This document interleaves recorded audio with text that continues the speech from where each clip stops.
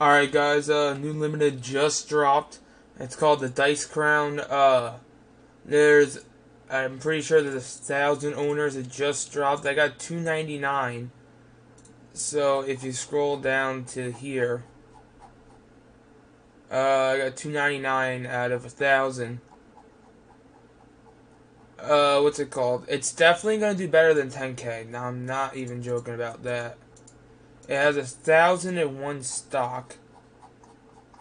And it hasn't sold out yet because the link doesn't work for some people.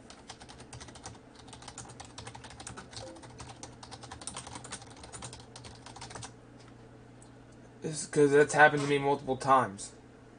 That the link doesn't work for some people. So I I think it's a good investment in my opinion. So I copped it.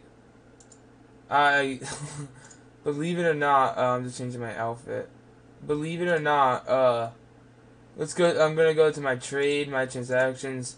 So uh, I was selling all my smaller items just to get some more Robux for the sale, and then uh, the item came out. So I was like, oh, holy crap!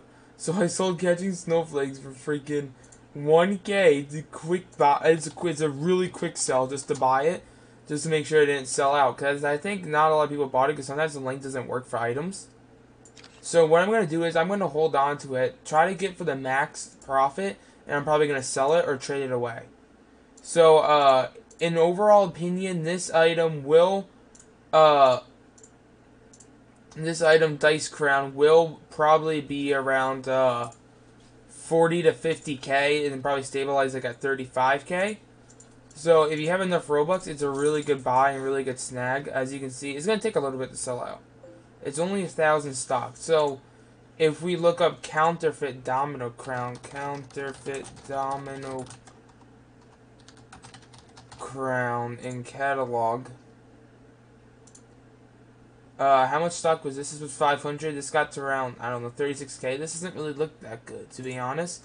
The Dice Crown's like a series of this, but uh, it looks, it looks better to be honest, in that. So I think this is going to be around 40 to 50k.